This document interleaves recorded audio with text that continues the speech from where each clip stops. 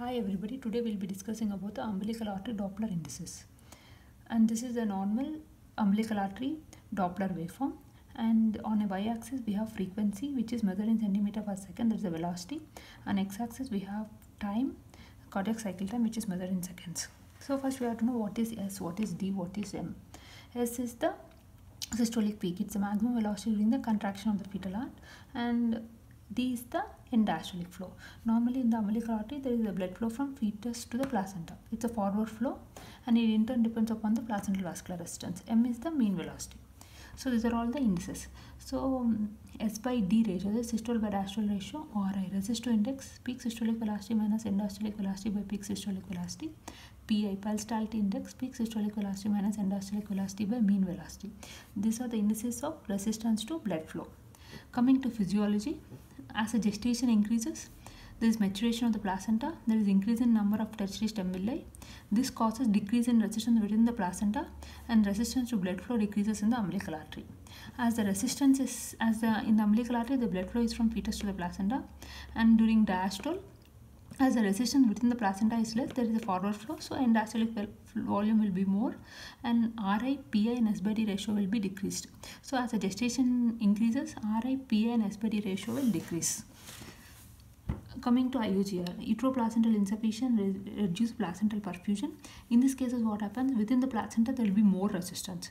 As the resistance is more, the resistance to blood flow increases, end diastolic flow decreases, and RI, PI and S ratio increases.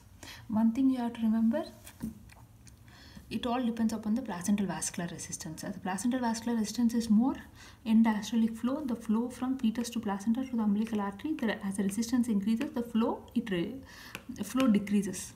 Further, further increase in the uh, placental vascular resistance, there will be absent flow. Still further increase, there will be reversal of flow in the umbilical artery.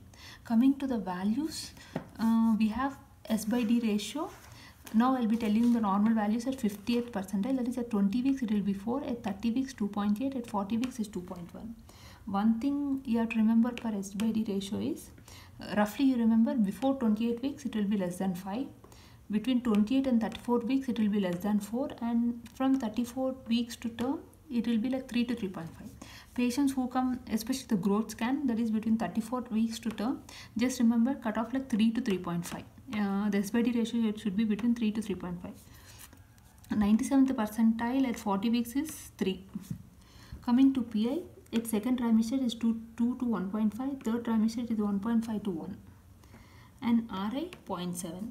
Just remember that RI it, uh, more than 0.7 will be abnormal after 26 weeks. If the RI is more than 0.8, it's always abnormal at any gestational age and one thing we have to remember is during early stages where there will not be any placental maturation at the stages for example till 12 week that is first trimester there will be absent end flow. And between 12 and 14 weeks end flow develops. And more than 14 weeks end flow progressively increases. Thank you